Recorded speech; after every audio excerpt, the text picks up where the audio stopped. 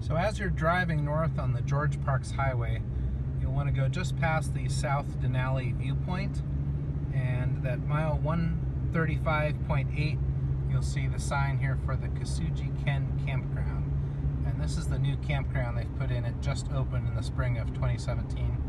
And having been to a lot of parks in Alaska, I tell you this is the nicest campground that I've seen so far in Alaska, and it is brand new.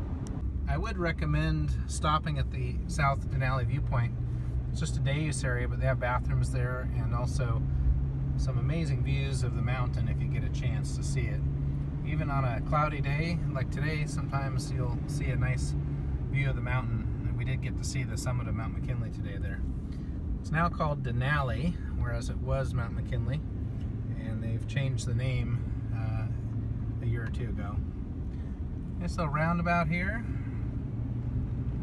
As we get into the campground, you can see this is a nice new road leading a couple miles here up onto the hill where we'll have some nice views from the campground.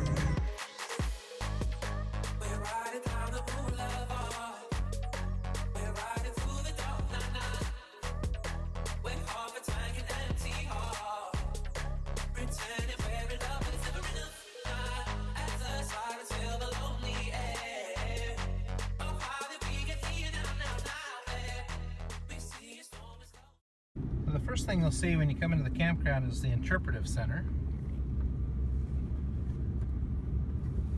And this is quite a nice facility.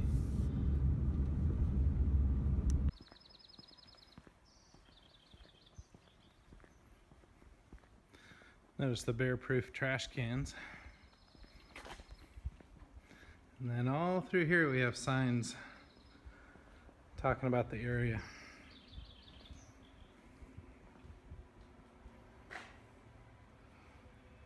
Really a beautiful facility. Some of the local flora. Cloudberries, nagoonberry, appleberry, red currant, crowberry, raspberry, watermelon berry, low bush cranberry. Of course, if in doubt, don't eat it. So we are right on the Chulitna River. You can also see on the map the Susitna River. In the Dena'ina Athabascan language, Susitna means sand river, and Chulitna, also called Si'ilutnu, meaning straight hand river or tongue river. These rivers were the main highways for early explorers getting into this part of Alaska. Of course, now we take the train or the George Parks Highway. There's the Alaska Railroad and then the Chulitna River down here and of course the George Parks Highway. A little more of the flora, spring beauty flowers, twin flower, wild geraniums, Alaskan poppies. Guide to all the plants and flowers in the area. Of course the venerable fireweed. And then something about the fauna here. All the animals to be found in the area. Wolves, owls, foxes, ravens, magpies, hares, lynx, moose, course, the grizzly.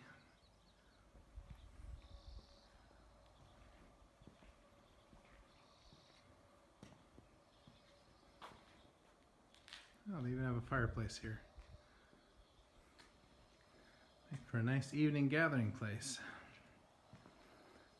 Here's the famous Denali and the surrounding mountains.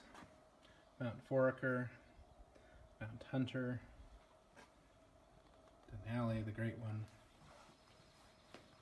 Moose's Tooth. And Mount Deception.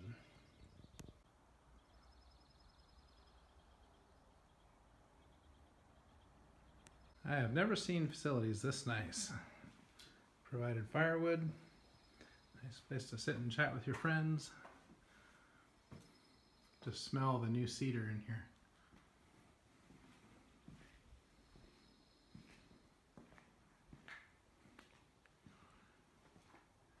some nice artwork.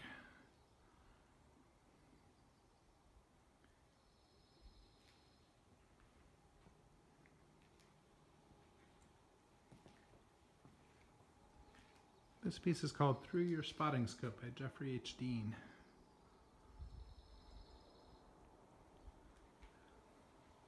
When you get to the park, you'll find this fee station. This is pretty modern for an Alaska campground. Nice little map of the area with all the campsites listed. There's a nice RV campground as well as tent camping sites. A little bit about the wildlife in Alaska State Parks. And then the fee is quite reasonable, $5 per vehicle for day use, and then uh, $30 a night with electric on the RV hookup. And this uh, credit card kiosk is the modern edition here for typical Alaska park. So they have some very nice uh, cabins that you can rent here. This one looks particularly nice off here in the trees a little ways with a view of Denali and the mountain range. This is the tent camping area. They have small groups of tent camping areas signified by different names like eagles, bears, ravens. You can see the campsites are quite nice great views of the mountains. And if you keep driving along, you'll see all the RV sites. It's a nice big loop here up on the hillside. Some of them have a little bit of a view. There's also a hiking trail which provides some fantastic views of the mountain range.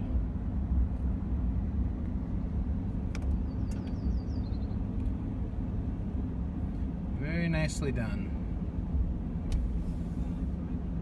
This is Memorial Day weekend, so there are quite a few people here. I imagine most days this will be completely clear of people.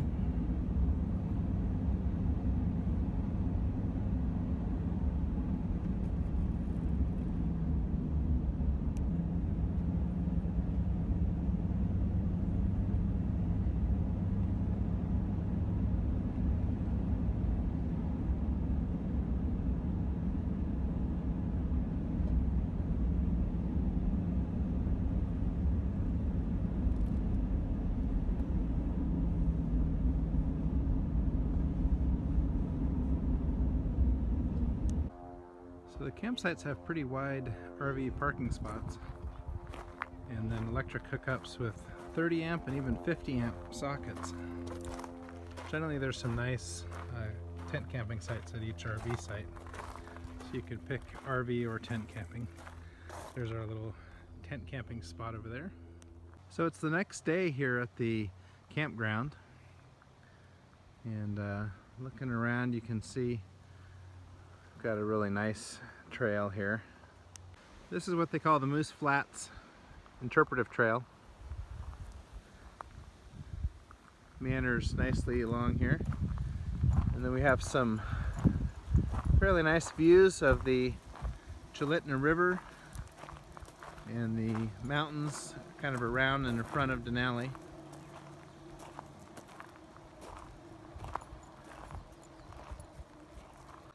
So here we have a view looking straight into Denali National Park and Preserve. And the gap in the mountains that you see uh, right up here is where Lower Ruth Glacier emerges. You can see the glacier moraines here, deposits of rock and debris that have been left by the receding glacier. And if you listen, you can hear the traffic on the Parks Highway down below. The Parks Highway is just on this side of the Chulitna River. And if you were to fly an airplane up that uh, Lower Ruth Glacier, you'd get up into the Amphitheater of the Gods and be right at the base of Denali. The forest right now is full of birds, mostly yellow-rumped warblers, which have migrated in from Mexico and South America. I'll take a listen to those.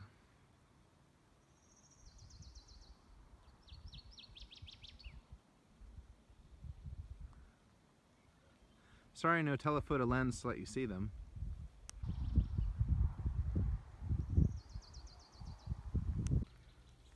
World of ferns here along the trail.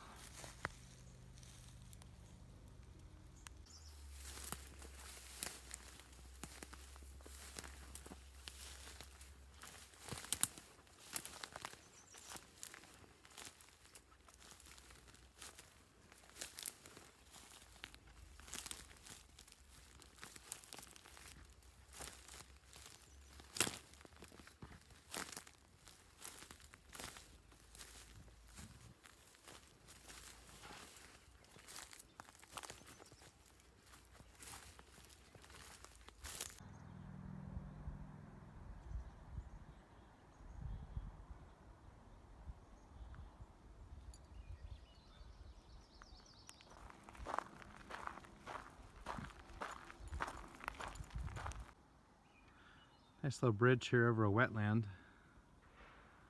There's a birch tree with some old man's beard hanging from it. That's actually a lichen. A lichen is a fungus and an algae living together in a symbiotic relationship. The algae provides food through photosynthesis, glucose production from the sun, and the fungus provides nutrients that are absorbed from the tree for the algae. You can see it hanging on that spruce tree there as well. Hey Widget! Here's Widget. She's a friend of mine's dog. Hey Widget! Hey! Widget's a cardigan corgi. And uh, Widget has some pretty cool eyes. They're uh, bicolored. Each eye has two different colors. Yes, you're a cutie. Come on. Come on. Come on, Widget. So just to show you some more of the typical plants that we have here. Got some willow in here. Big trees are spruce, birch, and uh, these little plants here that tend to choke off the trails, that's an alder. And uh, those are just prolific in this area and they're wonderful for smoking salmon, but they do clog the trails up a bit. See, see there another thicket of alder. Makes the forest really dense in this area. Some of these birch trees are quite old. It's a really old growth forest. That one's about 18 inches around.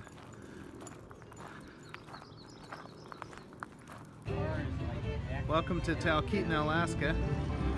Busy place today.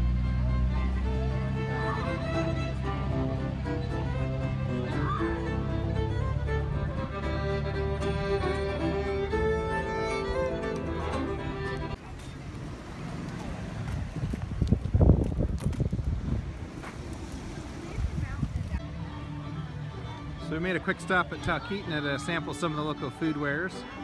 This place is just packed. Packed with people from the train, tourists that came off the Alaska Railroad over there. They come from uh, cruise ships.